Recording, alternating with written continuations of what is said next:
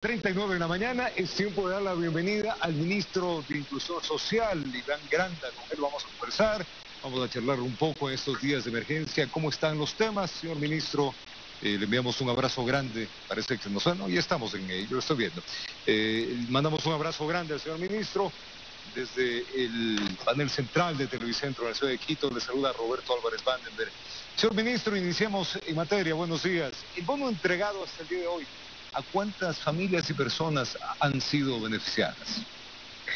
Bueno, efectivamente, em, solo del bono de protección familiar, primero saludar eh, a usted, Roberto, ministro. Y, a la, y a la ciudadanía también. Efectivamente, nosotros lo que hemos entregado son 337 mil eh, bonos de protección familiar.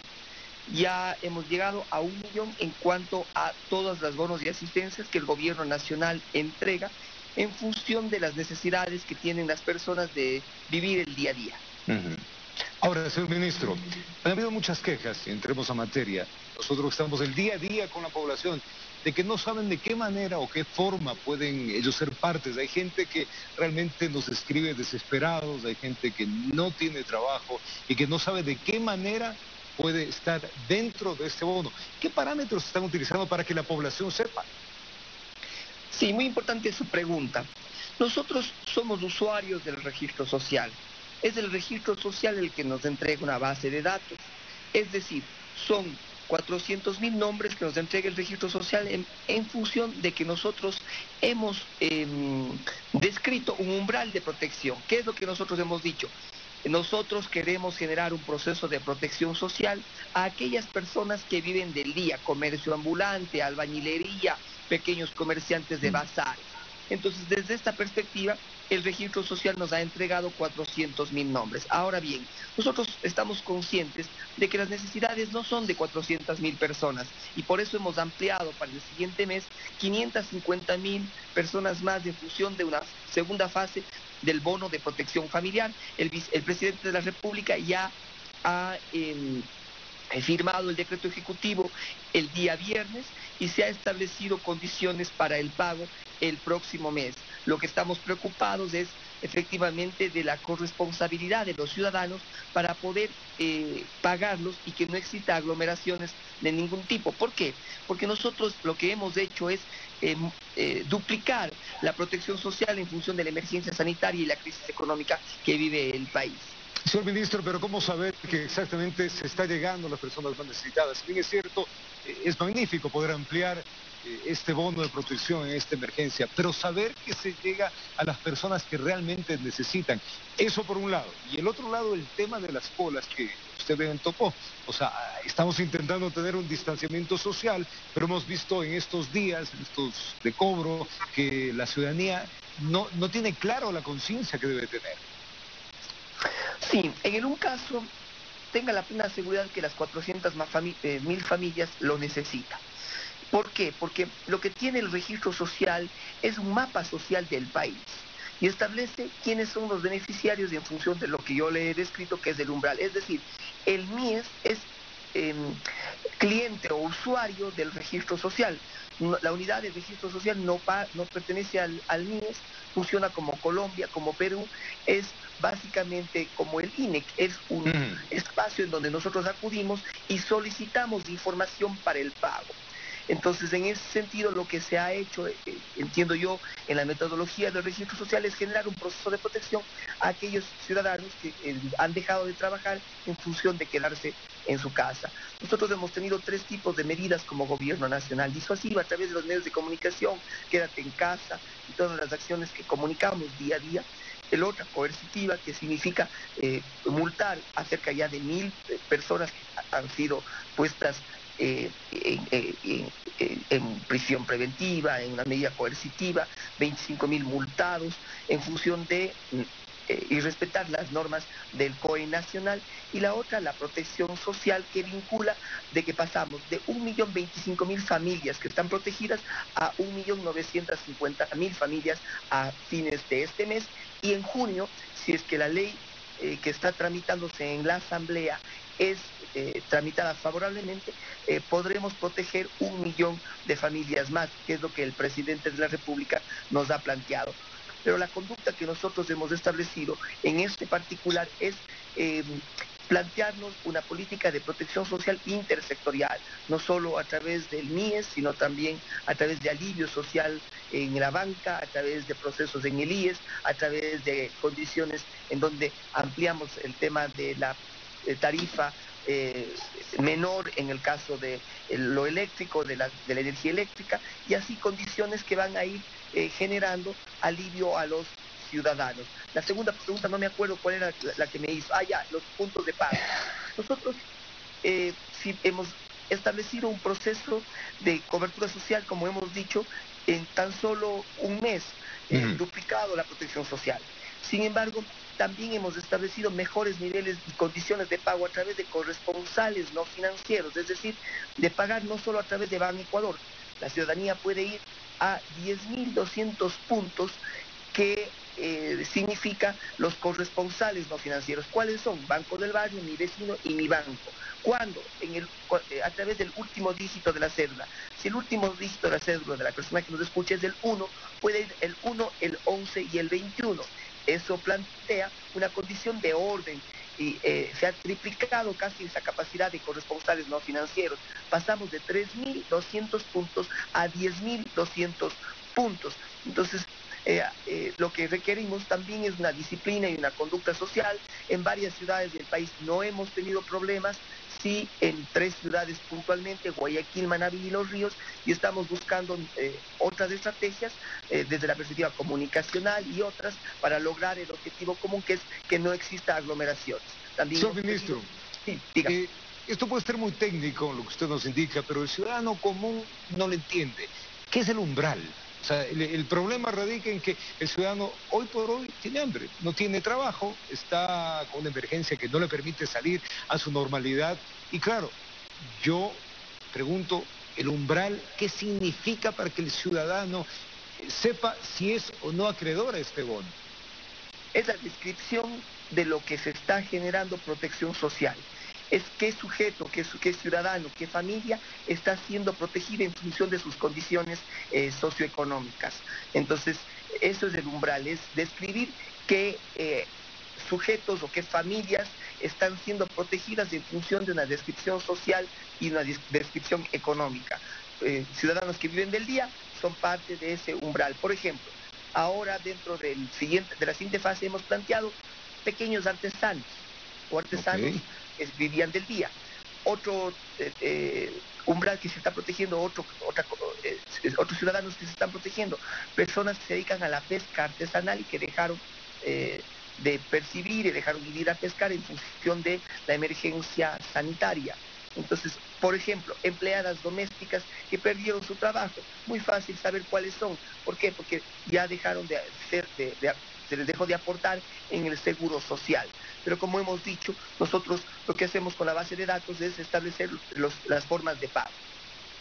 A propósito del Seguro Social, señor ministro, eh, entendemos que el Seguro Social tiene pues eh, dado un plazo justamente para que los empleadores eh, paguen en esta emergencia, no se los va a cobrar y ese es otro punto que también a los empleadores les tiene un poco a mal andar, les tiene por la falta de dinero. Eh, ¿qué, ¿qué, plazos establecido conjuntamente el Instituto Ecuatoriano de Seguridad Social para que puedan pagar estos haberes? Bueno, entiendo que son de dos a tres meses que los cuales se han solicitado como procesos de, de.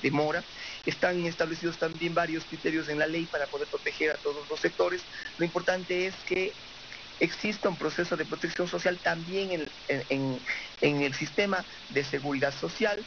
Entonces esas son las medidas que el gobierno ha tomado para poder eh, dar espacio, dar, aire, no solo al empleador, sino también al empleado. Le doy un sector, señor ministro, que se me viene a la cabeza, para protección. Los cantantes que viven el día a día, aquellos actores que en las noches iban a las boats, iban a los restaurantes a cantar, ellos en este momento no tienen trabajo desde hace seis semanas. ¿Cómo llegar a ellos? Nosotros em, hemos planteado condiciones, por ejemplo, en donde se crucen bases de datos. Em, a nosotros nos entregará el registro social ya en las próximas horas 200 mil nombres de los 550 mil, mm. que son los que estaban registrados en el registro social, y de ahí evidentemente lo que se ha establecido es que el registro social junto con una comisión está planteando eh, generar cruces de datos frente a estas necesidades.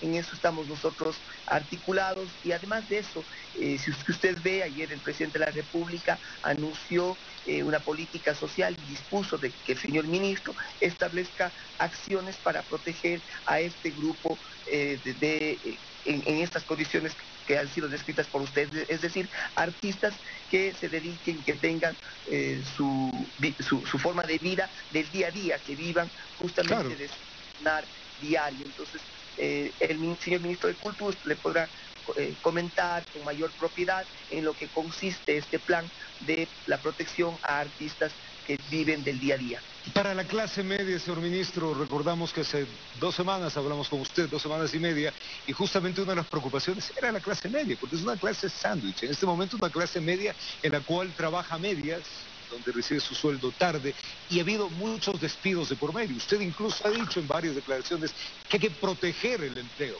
¿Cómo, ¿Qué se está haciendo? ¿Cómo, cómo estamos rescatando esa clase media? Bueno, primero existen alivios financieros con, con, refinanciamiento tanto en banca pública y privada, se lo ha planteado ya a la Asamblea Nacional. Los clientes del BIES se encuentran eh, con una, pueden tener una reestructuración de, de financiamiento de sus préstamos hipotecarios eh, van a tener hasta 18 meses de gracia. Asimismo, el BIES, en alianza con la Corporación Financiera Nacional, CFN, podrán a disposición de las MIPIMES 50 millones de líneas de crédito. Para los de la economía popular y solidaria, existirán 50 millones de dólares más que pueden eh, ser a, bajo costo. Se ha establecido, por ejemplo, eh, acciones con las cooperativas de ahorro y crédito, que algunas de ellas, sobre todo las del sur del país, han refinanciado de forma directa tres meses dentro de, para el no pago, sino eh, los intereses de establecer un proceso de refinanciamiento en, los siguientes meses, ya cuando tengamos el proceso de recuperación económica. Hay eh, la prórroga de aportes voluntarios y patronales en microempresas eh, al, IES, el diferimiento de, sin recargos de agua y luz, la, la, ampliación del cupo de consumo de energía eléctrica para 1.4 millones de beneficiarios de la tarifa de la dignidad, eh, varios temas como por ejemplo el hecho de que eh, en la ley eh, que se ha enviado a la Asamblea se pueda considerar que dentro de los recursos recaudatorios de las decisiones económicas puedan este, establecer eh, condiciones de que el 20% los pague el gobierno nacional en cuanto a las pensiones educativas de los estudiantes que tienen eh, sus estudios y que, cuyas pensiones son menos de 500 dólares. Ahí eh, la Asamblea ha dicho que podría ser mayor la cobertura. Nosotros estamos de acuerdo, evidentemente, pero se trata de recursos fiscales que se los requiere para poder generar políticas públicas en materia el, eh, eh, eh, social. de igual forma, me parece que el acuerdo entre las partes, si bien yo no soy el ministro del ramo, podrá el ministro Poveda hablar de con mayor propiedad, creo que es indispensable, es decir, que las partes, el empleador y el empleado, puedan llegar a un acuerdo de no pagar o que las jornadas laborales sean de seis horas y no de ocho horas, eh, de que eh, para no perder el, el, trabajo, que es lo que se requiere hoy cuidar, es decir, establecer condiciones para que las personas no pierdan el trabajo y por tanto eh, sus condiciones económicas no decaigan. Y esta pregunta le hacemos, señor ministro. Usted es el ministro del Bienestar Social, el ministro que tiene que velar por la tranquilidad también de todos los ecuatorianos. Volvamos al tema de los alimenticios, señor ministro. ¿Cómo se está llegando, cómo se está distribuyendo, a cuánta población se ha beneficiado con todo esto? Bueno, nosotros hemos tenido dos fases dentro de la campaña, dar una mano sin dar la mano.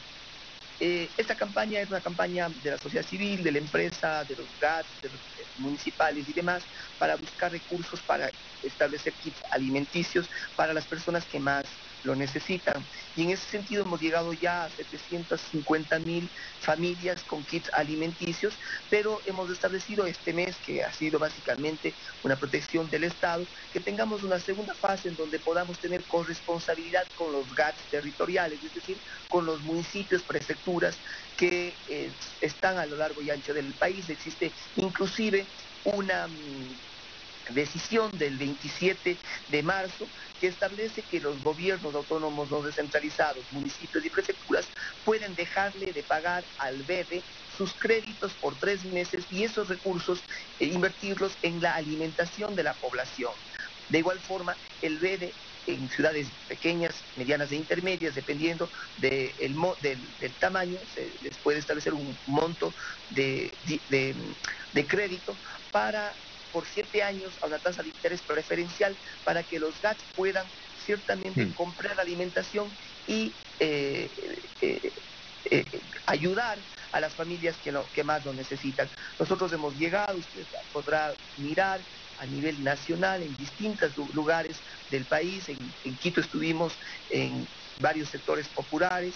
Eh, y, se entregaron este fin de semana eh, gran cantidad de kits alimenticios, inclusive cinco de mis compañeros ministros estuvieron en este espacio, pero efectivamente la solidaridad y las manos no alcanzan y por eso creemos que esto tiene que buscar una corresponsabilidad con los GATS municipales, con los municipios del país. Hay que hacer una pregunta que es eh, molestosa, pero toca hacerla, es una pregunta técnica, señor ministro.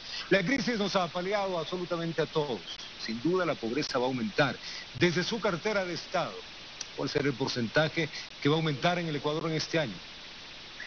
Esto, a ver, existen varias, varios datos y varios números em, que creo que son importantes establecer en este contexto. CEPAL planteaba que 1.7 será el crecimiento antes del coronavirus. Luego, las, las, decisiones eh, que se han planteado y las acciones en función de eh, varios multilaterales que han establecido la emergencia, no solo aquí en el Ecuador, en Latinoamérica, habrá un decrecimiento del Producto Interno Bruto, eh, Europa decrecerá alrededor de 7 de siete puntos y Ecuador podría decrecer entre 3 a 6 puntos del Producto Interno Bruto, son decrecimiento de la economía ecuatoriana y eso establece decisiones económicas que nosotros las estamos intentando eh, plantear, no solo ahora, desde octubre, eh, corrigiendo la distorsión de un subsidio eh, caótico como es el, subsidio a la gasolina, que se va por las fronteras, que va al contrabando en Colombia y en Perú.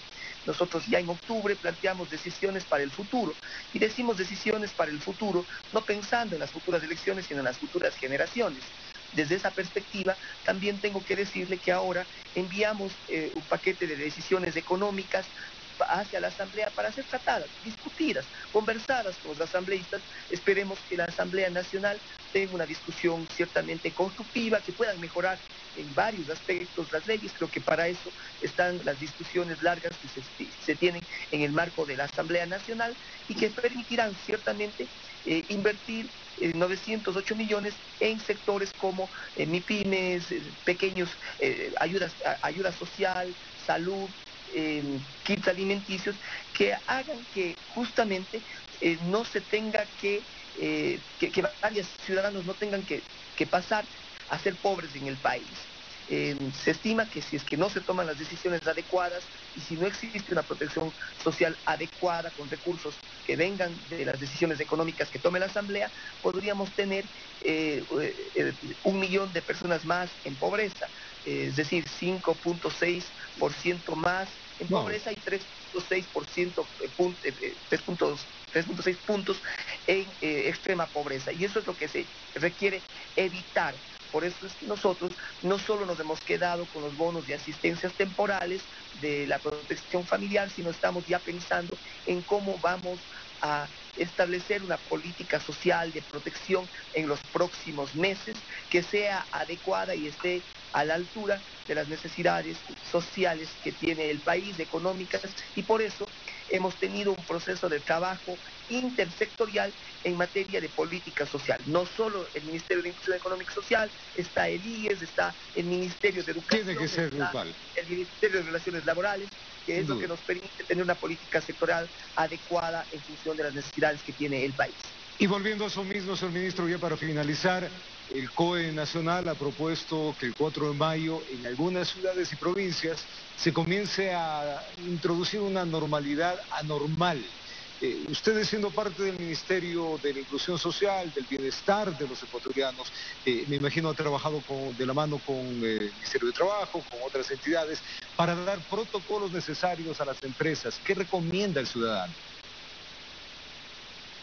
Sí, bueno, casi todos los protocolos, por ejemplo, para el sector industrial, para el sector de la construcción, se están estableciendo ya y están siendo colgados en la, plataforma del COE nacional con el objetivo de que se vayan tomando eh, las mejores decisiones en función de eh, establecer, como usted bien lo ha señalado, dentro de recuperar un proceso productivo pero siempre cumpliendo lo más importante que son medidas de bioseguridad adecuadas que permitan que las personas no eh, se sigan contagiando o que no tengamos un rebrote eh, eh, que, pueda ser complicado para el sistema de salud pública, porque no podemos pedir que la gente no se contagie en todo el mundo.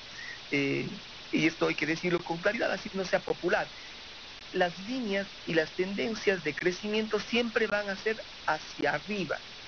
Lo importante es que tengamos controlado y, que las condiciones de contagio puedan permitir al sistema de salud público responder de forma adecuada.